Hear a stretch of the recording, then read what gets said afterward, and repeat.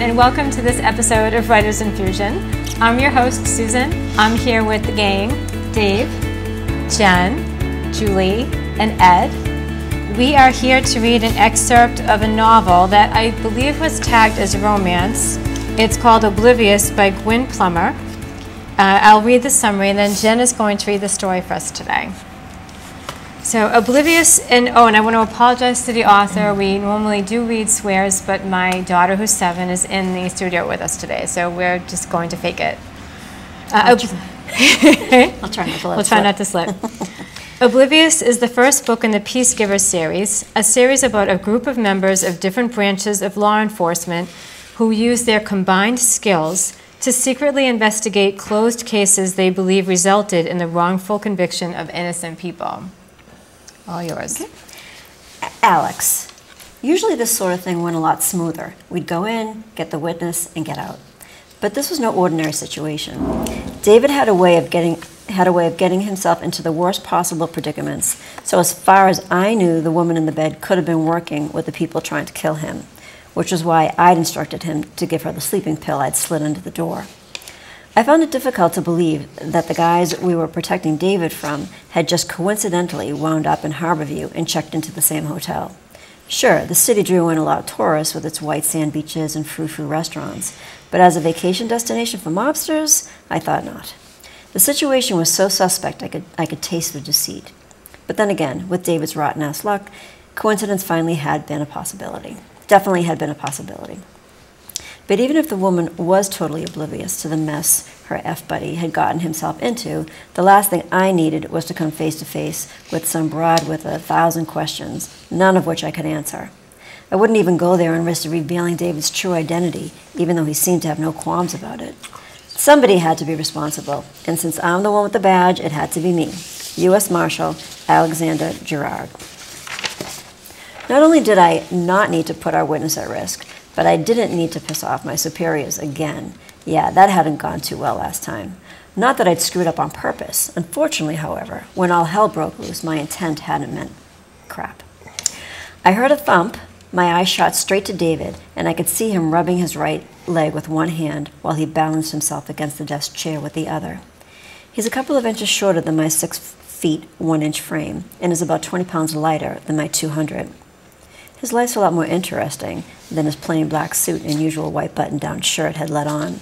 And although his hair was as dark as mine, his was a lot thinner on top. More than likely the result of stress rather than his age would be my guess. Quiet, I hissed. He scowled at me as if to say, Shut the F up. I couldn't, I should have been irritated about his misplaced belief that he had a right to be mad, but I let it slide. His life was screwed up enough. We stood still. I glanced over my shoulder at the mysterious woman, woman lying beneath the covers, her blonde locks covering her face. I breathed in the flowery scent given off by the arrangement perched on the oak table underneath the windowsill. I couldn't help but give a quick thought as to how she'd managed to get herself mixed up with someone like David. Hopefully for her, this had been nothing more than a one night stand, but I doubted it.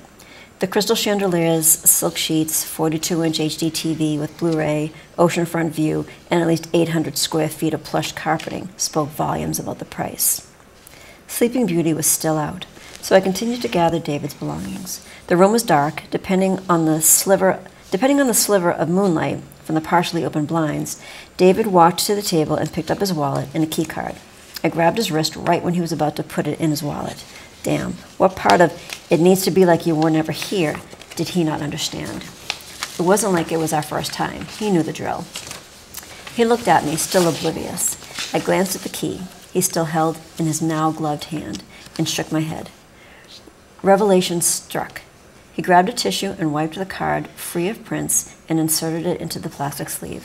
After wiping it clean as well, he dropped it onto the desk. I wasn't sure if Sleeping Beauty would really ask them to check for prints, but we couldn't take the risk. Considering how much David craved attention, I was sure there were many people who'd remember him, but I was determined to leave them all scratching their heads, and I would thank, and I would, thanks to one Mr. Oliver Ollie Sto- Stovall, our genius computer hacker, who, as soon as we exited, would erase all videos from the hotel cameras. I slowly opened the closet. The iron, which hung on the, the rack fastened to the other side, lightly bumped against the wooden door. I paused. After giving a quick glance to the motionless figure on the bed, I bent and lifted a small duffel bag, a small black duffel bag. David nodded. We headed to the doorway. As we passed the nightstand, I noticed a bottle of champagne. I looked back at David, my expression conveying that I was wondering where the glasses were. David slowly turned his head to face the opposite side of the bed. Great, I mouthed. I pushed the bag into his stomach. He let out a soft grunt. Effer, just better be glad, excuse me, I hadn't, I hadn't used my fist, which had still been an option. Lowering to my knees, I stretched out and army crawled around the foot of the bed. I focused on the area of her hidden face and the small arm hanging from the side of the bed as I made my way to the nightstand. As I reached up to grab one of the glasses, I heard a small sigh and the rustling sound of the sheets. The arm disappeared. My heart raced. Without moving my head, I looked at her. She went still. Carefully taking the half full glass by the base, I slowly slid it from the table. Instead of turning around, I backed up and immediately came to a halt, my foot entangled in the bedspread. Darn it. I lifted my leg and slightly shook my foot, trying my best not to jostle Sleeping Beauty. She stirred. The spread moved. I stilled. Was she waking up already? What kind of sleeping pill was that? I held my breath while I awaited the answers to my question. She exhaled softly and settled back down. When she settled, I reached back to free my foot, and I felt the warm liquid spill over my hand. Continuing my retreat, I wiped my hand on the bedspread and turned, increasing my speed, which I reached when I reached the foot of the bed. I waved my hand to get David's attention and then pointed at the doorway. David gave a quick nod and headed into the living area. I stood and followed close behind. The low wattage lamp on the table next to the sofa provided enough light to continue our mission. Searching for forgotten items, my eyes wandered over the tan and burgundy striped Queen Anne sofa and antique chair. Nothing but a glass vase filled with an assortment of flowers remained on the rectangular oak dining table. David put the wallet and socks in his jacket pocket, pulled the bag strap over his shoulder, and gripped the door handle. When he opened the door, it poured the dim light from the hallway. In poured the dim light from the hallway. Believing we'd gotten everything, we quietly slid out the door. I surveyed the hallway. It was quiet. There was a cleaning cart parked in front of the room four doors down, evidence that someone would soon return. I grabbed David's arm and headed for the stairs. Stay in front of me, I barked in a stage whisper as he fell behind. After a quick peek, we entered the stairwell. Concentrating on nothing but our escape, we raced down the four flights of stairs, joined, joined by cool air, the faint smell of disinfectant, and the sound of our own footsteps. Hmm. it's about time, said Will, who was waiting for us at the first floor exit. He hadn't packed up anything, I said. Well, that was smart, and not a waste of time at all, replied Will, a muscular blond haired man with light brown eyes. He was dressed in khaki dickies, in a khaki dickies uniform, and stood next to a large cart loaded with cleaning supplies. He reached into the cart and pulled out a black jacket, matching the pants we both knew David would be wearing. If nothing else, the guy was predictable, which made it easy for us to catch him in the first place. Put this on. He threw the jacket to David. David yanked off the black jacket he was, he was already wearing, pulled his wallet from the inside pocket, and tucked it into his back pocket. He handed the jacket to Will, who placed it in the duffel bag with the champagne glass I'd given him into the cart. Why am I changing? It looks just like the one I had on, asked David. Looks like it, but it's not like it, explained Will. This one has a tracking device. If stuff goes downhill and you get grabbed, just sit tight. We'll be close behind. Good idea. Will and I gave each other the can you believe this guy look. Can, can, you, can, can your head down, keep your head down at all times, continued Will, and no matter what happens, don't say anything to anyone. You know the drill. David nodded. We're going out through the kitchen. Will peeked into the hallway. Let's go. We hustled our way down the narrow hallway. It was 2 a.m. Other than the one overnight front desk clerk who was paying more attention to us than the magazine he was pretending to read, the lobby was empty. Avoiding the clerk's line of sight, we made sure to stay close to the wall, dodging behind a large potted plant, obtaining a better view of the hallway that led to the kitchen. Noticing the coast was clear, we picked up the pace and headed toward the double doors ten yards away. When we got halfway down the hall, the doors opened. Out came a young man wearing a white polo shirt with the hotel logo on the left side of his chest, right above his, right above his name tag. There you are, said the young man, looking squarely at Will. Our guest in room 506 requests immediate assistance. Since you're going up, take this with you. Excuse me. He held out a silver platter with a dome lid. The expression on Will's face was enough for me to jump in, and good thing I had. Otherwise, Mason, as his name tag revealed, would have been tasting a sample of Will's skin cells delivered hot off his fist. No matter how much I explained that he couldn't break cover out of anger, Will just didn't get it. He hated being told what to do, and unless someone had a direct power over his career or life, he'd waste no time telling them where to stuff their orders. I'll take it, I said, reaching around Will to take the dish. Thank you. Thank you. Sorry, I kept coughing. Mm. Sorry. You only coughed a couple Oh, of he's all times. It's the cold It's air. cold in here, so It's like, cold in it's- here. yeah. But it's good reading. So I'll start with that. You can definitely get a feel for this cop. Like you can tell he's a cop. You know, you get that voice kind of, it's kind of a rough kind of talk. And so I, I thought that part was good. Um, I definitely have several suggestions and questions. And the first one is that I just don't really get the plot. I don't really get what's going on. Like, what what is the whole point of this scene? Yeah. Right. Right? I mean, you've got a guy, and you know, there are two things like right off. I'd say you've got this, they're going into a hotel room. I got that, and there's a woman there that maybe she was slept with the other guy, and maybe she hadn't. I couldn't quite figure that out. Did they knock her out? Because she Sleeping was pill. a witness? Yes, they did. But Wait, because how did they- that happen? Well, He there's slipped- a, it a sleeping pill under the her door. in sleeping, I don't But know it how. says- he- Okay, So it how does says- he let him know that he's slipping a sleeping pill under the Oh, door when he's good question. somethinging that Right, woman? right. Yeah, that But was let me weird. just- So the Something- very first line, it says, we go in, get the witness and get mm. out. So Yep. my first in- inclination is to think that this woman is the witness. So then you get, because I don't know. Right. So you get to the next big paragraph, and they've given her a sleeping pill. Mm-hmm. So then if she is the witness, what kind of, inf- like, Yeah. who's the witness? Yeah, you have to identify David, David they're the trying to witness. get, right, David's they're the now, witness. you're right, they're They trying to get get him out. David up, but you're right, that's not. But what I- does that I, mean? I, I Like- do not understand what happened before this scene, though. Well, I 'cause- mean, were, th- were they staying in the hotel? Was David staying in the hotel? It seems like. He had Since it usually said you have a in witness- our Yes. hotel. But if you have a witness and you Yes. say, we go and get the witness and get out, the first thing I think is there's a witness who's in trouble. Yes. Right. In a Right. very bad scenario, Yes. and you're trying to extract them from that scenario. That's right. Yes. So that's the first thing I'm looking for when I go to the next That's right. line. Yes. And then I'm totally lost. And- But they've done this before, and yet they caught David. Right, they so catch they caught. right. We had to catch him. Is and he a then- bad guy or a he's good guy? Exactly. Is he working know. with them because they, we've done this before? But he knows nothing. Marshal uh, Gerard will tell you. You're supposed to get nobody out of knows here without nothing. leaving any trace. Yes. And then, Yeah. we, then we give him a The- the jacket. guy so says to him, "You know the drill." He's He doesn't know the drill. Yeah. But there's no reason for any of this. Like, what is it that Okay. David know? Like, I don't get. I don't get what's I don't get it because of pronouns. Mm-hmm. okay? Look at the uh, first three lines here. It says, "I knew the woman in the bed could have been working for the people."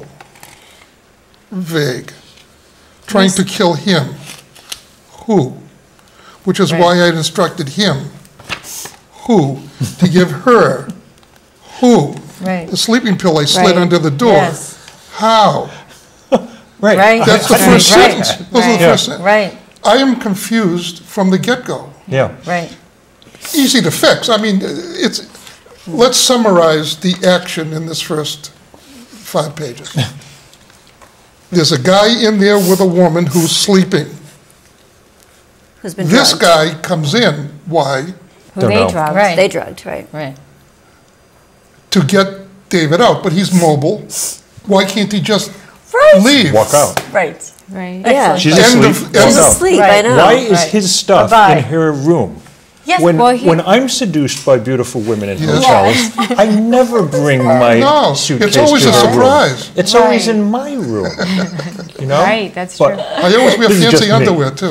It then- seems like this So is if the case you're, so go back to what Dave's saying. We, what's happening? So we have the woman, she's knocked out. She's out cold because of a sleeping pill. David's in there because he's been, Which he gave her somehow. some, he crushed it and Well, put it into the But wait, but let's champagne. go back, let's just to go back to what's happening. Okay. So then the cop takes a long time Oh my God. with yes. a lot of play. detail Yes. to get the stuff out of the room. Yeah, But we don't really know why yet. Because And then Dave they leave and his they meet some guy in a kitchen. On And the then, way No, up. no. Yeah, Yes. and then they has, the David has to change because See, he's I thought they left the tracker. building. When they went down the four Will's flights, I thought they pretending- left the building. Did they leave the building? No, They go turn- to the I guess lobby. not. They ended up in the front lobby. Will with one L which bothers me, uh, is maybe it's Wilmot or something. Uh, is dressed as if he's an employee, and so Right. the manager of the hotel, assuming he's an employee, tells him to go up to room 506. So he's undercover. But Marshal Gerard goes to the room, and I have to pack his bag, take his bag. But Why is he there? The whole point is that nothing is happening. Right. We don't know why anything's happening. There's Right. no tension in this scene. There's no conflict, which we were Like, talking about in the another episode. She wakes up. What's going to happen if she wakes up? Why, why do, why He doesn't Right. want to answer Why some are we worried about? Right. And, and so I, I think maybe you're trying to create intrigue by holding information back, but I think you're holding too much back because it's actually creating confusion. So Yes. give us, you know, why is David important? Why are they extracting David? He's uh, in the witness protection program, uh, or he- he's an informant for the mob, or whatever, But all whatever this it could is. be like a Tell us what whispered conversation or something. This Right. entire thing Yes. was Right. way too much telling. Also, I mean, some of these things are just not consistent, and that drives me crazy. Like at the end, when, okay, the the the guy comes out of the kitchen and says, "There you are," as if he recognizes Will, which he cannot possibly because he's never been there before. Right. Okay, but he seems to think that Will is an employee because he's dressed like one. But then the the cop says, "I'll take it." So is he also dressed? As an employee? Oh, I didn't Right. In which case, why didn't the manager mm-hmm. say it to him? Mm-hmm. Oh, I also thought Will appeared out of nowhere. I thought that we should have known that they were going to be meeting up with somebody.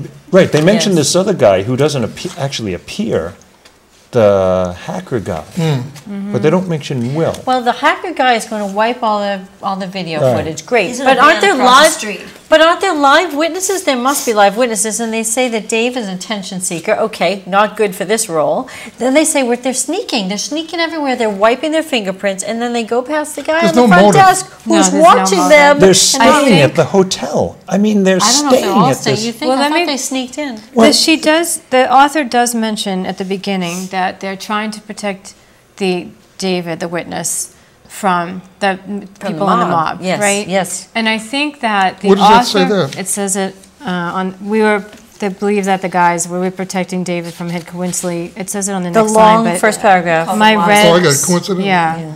So I think what the author might be trying to do is like letting us know that there are mobsters they have to get away from. Yes. And then taking a very long time, play by play, so that we're supposed to feel tense because they're, we're saying, we're taking it step by step to get out of there. But there's Yeah. nothing going on. It's not like we just caught sight of the mobsters out the window and we need to somehow get out of the hotel. Right. Yes. And, and we don't even know, and by the way, we don't even know why. We have no idea. And David, does, does David even talk? No.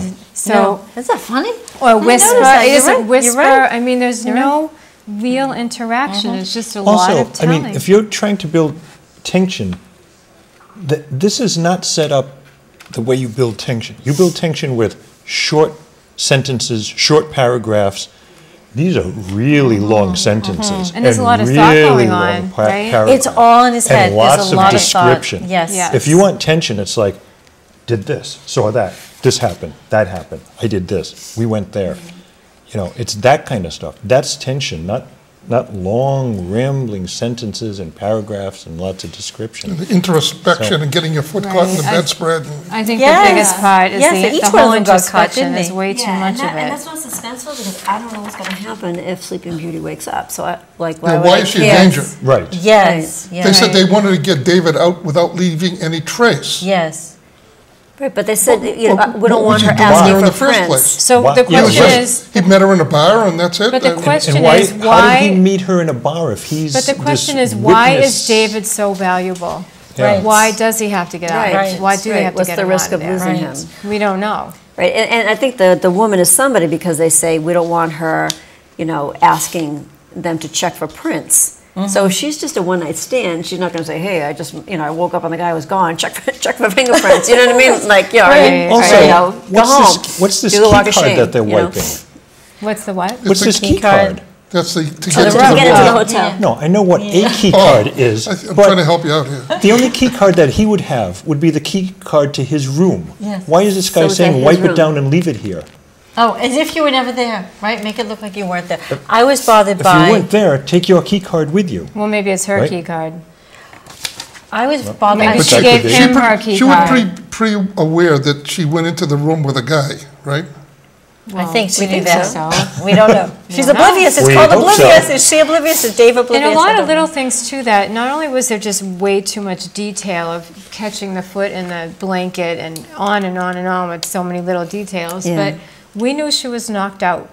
But you repeat it, you know, it was repeated many times that she, She was was knocked out. We already knew she was times, right. right. And you know, if there, there are flowers in the, you know, when you leave the room. Oh my God, the flowers. When you, the but when you leave the room and the only thing that you see are the flowers and the vase left on the table, why is that significant? Because So- this is a woman trying to tell it as a man, and it's just, I don't know, I think she's just falling back to, defaulting Maybe because he's to a cop what a and he, he might notices notice. everything. Yeah. Well, what I I, find interesting is there are a lot of details, and then there are quite a few missing. And I made a, a reference to uh, Stephen Colbert, whom I've been watching a lot of lately. Uh, he has imaginary props. He will talk about something, he'll take a sip from a mug, and then he makes sure to put it on an imaginary table off camera. It's so bloody funny. He has something, he'll put it back in his pocket. This fake phone he's playing on puts in his pocket. So we have a champagne bottle, two two champagne glasses, but only one is tucked away. We have the car key, the key card that is wiped down of fingerprints. We have uh, Gerard going into the bath, into the closet, not the bathroom. No one checks the bathroom for towels, for evidence.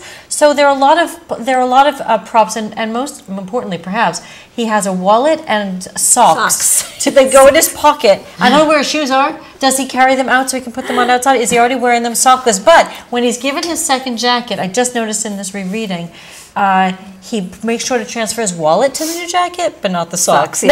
Now, is that an oversight? Are the socks important? Do the socks hold a microchip or something? That There's intrigue. I don't know. But really, there's a lot I of um, that too. He didn't get socks. inattention to detail, and it, it bothered me because for a, a novel like this, the concept of this U.S. Marshal, you want to Oh, yeah. cover all bases. And you the people who read stuff like this, pick like up. They. Oh, details. they Every- zero uh, in yeah, on things every, like um, that.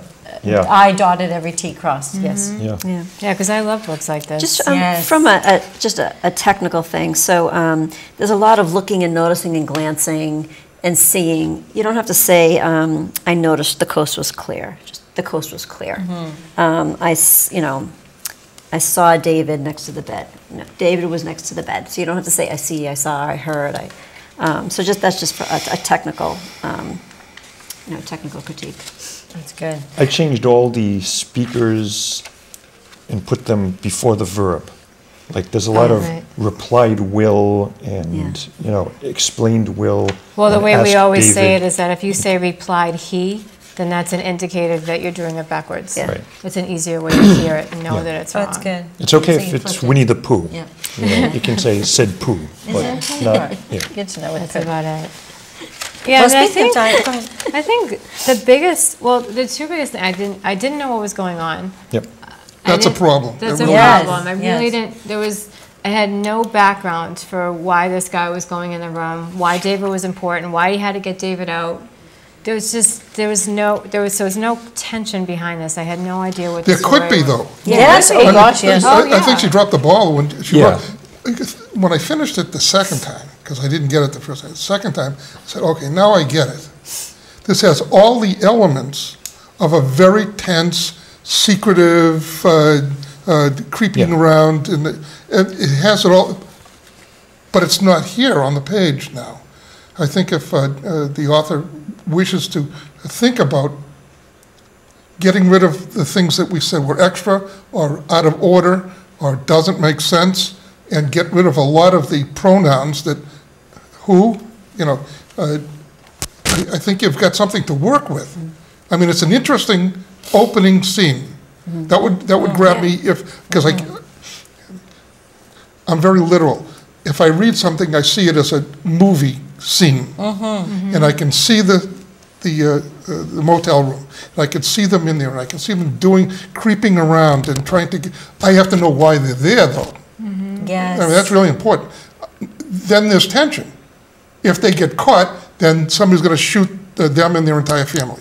Okay, now we got a problem. But I don't Yeah, know why risk? they're there. What's at So how stake, about- right? What's at stake? Can I We give don't an know. example? What's on the table? What are you give an example? Let's say they opened it up like this, and, uh, you know, I'm just, this is just an example.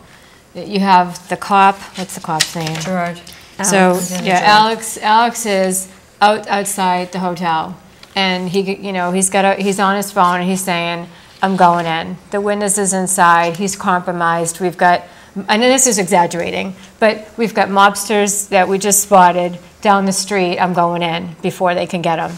And then he goes in and, you know, he runs into like the guy's maybe naked in the bed and and maybe she's out, who knows? And he goes in, he's like, you gotta get out of here right now. We've got 10 seconds to wipe this place down. They're gonna come after hmm. you, and we need to get you into witness Walking protection do, do, before. do, do, Well, now do, I know do, what's do, going do, on. do. No, it doesn't mean I know why he's going into the witness protection program or what's behind it yet, But and there's that's an- There's an immediate tension. Exactly. Yes. So Yes. now Yeah. I understand Yeah. what's going on. It's happening one thing after another. The two are interacting in the room, mm-hmm. And it's just a scene play by play. You know, it's not. And you're holding your breath to see if they can get out without being before these killed. other guys. Right. Exactly. Well, Right. speaking of dialogue, I hadn't noticed David didn't speak. You're absolutely right. And speaking of scenes, And they on can whisper, by the way. They don't, you know. Absolutely. On page two, um, not only did I not need to put on one witness, our risk, witness at risk, sorry, but I didn't need to piss off or set off my superiors again. Yeah, that hadn't gone too well last time. Not that I'd messed up on purpose.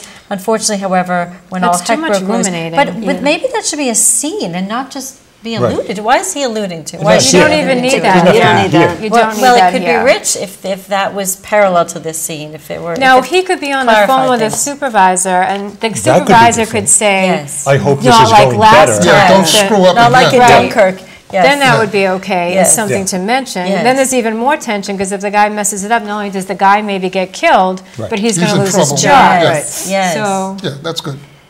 Good. Right, and it almost sounds like David's a professional witness. He keeps saying he knows the drill. We've Yes, done this we've before. done this so before. again, Right, it just right. it just kind of was We don't know. confusing as to what who David don't get it. was. Maybe I mean maybe he's a another cop who's undercover. Hmm. You know, maybe he's an undercover cop, David, and he goes in and he infiltrates and But he sounds like a he gets goober. information and then they get him out. You know what I mean? regular- Frankly, what they were doing Yeah, in the, but he in the room sounded like the Three Stooges. They were spilling things, they They were tripping, Yeah, they were yeah, knocking yeah. things over. Yeah, it was, You co- know, it was more Why'd you touch that? What are you, stupid? You touched that? You know, Yeah. They're making all kinds of stupid mistakes. Yeah. Maybe he doesn't deserve to be working in the Secret Service or whatever. Yeah. right. All right, we do have to summarize this. Oh, yeah. Anything else? Yes, there were a couple of verbs, uh, bottom of four and top of five. We entered the stairwell, I'd find a better verb, and we, we were joined, Ed and I both noticed this. Um, Flight of stairs joined by cool air, the faint smell of disinfectant. Joined by, I didn't know that that was such a good verb, so just be careful with, with your verb choice. Anything like that too, we, we mark it down, we edit Yes. it, so that you can go through all of our edits and read it from that perspective. So hopefully this helped out. My daughter is signaling that we are almost out of time. So hopefully this has helped. Um, Gwyn, thank you for writing in. So we hope this helps, and even the example I was just talking about with a, a, a different approach that you're setting up the scene, and then you know we talked a lot about not having so much play-by-play, but really Yeah. bringing. Yeah, us- Yeah, you don't need to reach for the doorknob. You don't need to. Right. There's, there's a rich plot here. Just take out the other stuff, Yeah. the, uh, you know, ancillary stuff. Yes. and then go from there. So thank you so much. And thank you everyone else for joining us for this episode of Writers Infusion. We will all see you next time. Keep writing.